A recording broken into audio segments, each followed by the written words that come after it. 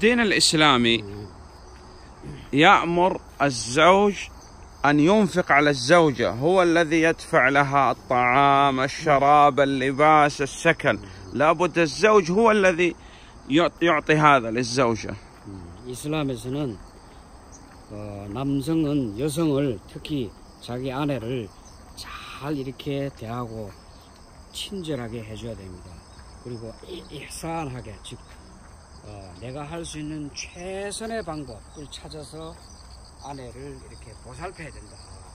뭐 음식을 음식 음식물이라든지 옷이라든지 주거라든지 이런 것들 어, 최선을 다해서 잘 어, 제공을 해줘야 되고 말도 친절하고 부드럽고 어? 이런 말을 사용하고 좀 우악스럽고 듣기 싫은 욕을 하는 그런 언행은 삼가하기로 삼가를 해야 된다.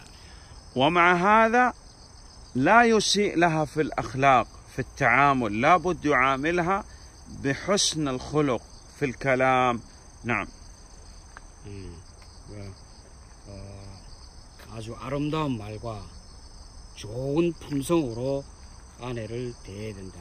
아내가 감동을 받, 받을 수 있는 그런 좋은 그런 언행을 보여야 된다.